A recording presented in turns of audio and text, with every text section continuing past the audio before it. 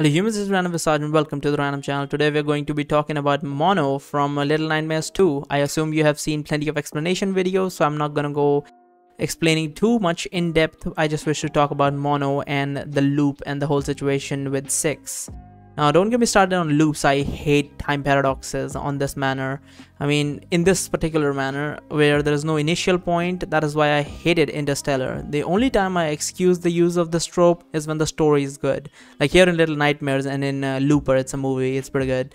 Uh, regardless, so Mono is stuck in a time loop where he will save Six then Thin Man will kidnap Six and Mono would come to save her, killing Thin Man in the process. Then getting betrayed by Six and getting stuck in the tower where he'll be warped by the tower to drain the masses of their life, so life force. He will then be consumed by anger and hatred, his memories will be distorted, he will then try to get his younger self to set him free, but will not be able to control himself for trying to kill Six, henceforth repeating the loop.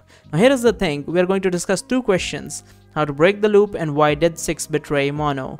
Now let's start with the betrayal. I have heard three theories regarding this. The first being that she simply used him and uh, discarded him when uh, the use was over and he was no longer useful in any sense but it is possible but not exactly the first thing that comes to mind because she doesn't know the manner of help she may need in the future especially when mono has a power so he can certainly help she could possibly be scared of Mono's power and the fact that he may turn on her as she goes on on a killing spree in the spree in the first game, which is definitely a possibility. So it's got a pretty good chance, but uh, I don't think it's the most likely one.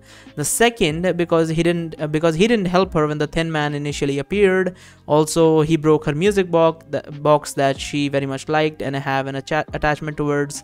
I think this one makes the most sense because I can see her having some resentment because of that. Third and last, the most unlikely one is this one. The idea is that she realizes her hunger for power and blood is rising, which we see in the first game. So she decides that it would be a good idea to leave him in the tower because that would be saving him and she will kill him obviously if she stays with him. So that's the one they went with uh, this one falls short because of two reasons that I've noticed. Number one is that her body movement suggests no such thing as any manner of regret or hesitation in her movement. Like you would at least be, uh, you know, be, be, a little weirded out even if you're trying to save someone. Obviously, she didn't tell him, but uh, there's no body movement that would suggest any manner of regret or hesitation, which is just weird. And you can tell that that's not that's the reason why she is not going down this route. Uh, now, number two is that she doesn't know that letting him go will be safe. He could just fall to his death. He was just lucky that he fell on the biomass.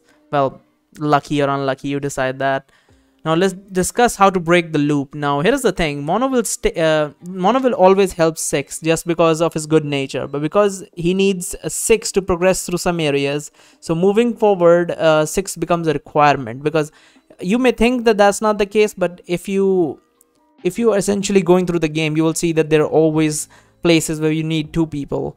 So it would be very absurd and how he would go through that that area. You could say the game would be different uh, because he is singular, but uh, you know it's a, it's a reality for them, and the reality is not bending for them. So I think two people are a requirement. So not to mention Mono has a fear of being alone because of which uh, he will always go and help Six. Now as the loop goes, Mono has not many ways to break it. There are only four ways for the loop to be broken that I can think of. First is if the trigger of the loop, that is Six, decides to save Mono on instead of letting him go. This would be a very random event because she has no reason to do so. But as the loop goes, uh, not every little thing is going to be the same and it is a possibility that one of the sixes may change her mind at some point. Second would be for the thin man or the adult mono to somehow gain access to the power of the tower, because the tower uses him as a medium to drain life force out of all the TV viewers. Uh, if, he, if he can access that power even for a little bit, he will be strong enough to kill Six, defeat his child self, and escape the tower. Third way would be for him to see the pattern because at the end of every loop, uh, Thin Man dies and the next Mono takes his place. If he repeats the same thing as he saw the Thin Man do, then he should probably see his folly, in which case he could change the situation up a bit here and there and should avoid his fate. But that's the most likely one he could possibly do. Other ones are too random. Uh, but this one he could possibly see how things went about the same uh, but then again his mind is warped so we don't know Fourth and the last way would be the external influence, some big random event out outside of the tower or the maw that causes the tower to lose its effectiveness, like an earthquake, earthquake or tsunami, or like a war or something. I don't know what the political situation of the world is, but whatever. Uh, that one of the external factors could also function here. But more than likely, Mono will be stuck for a long time, if not forever, through multiple timelines, ending up with the same shitty fate, following the same plotline over and over again. A cycle of betrayal, hatred, and dying a virgin. Thank you so much for watching. The link in the description to my Twitter. There's also a link to my Patreon. Go check my stuff out over there. Uh, bye bye.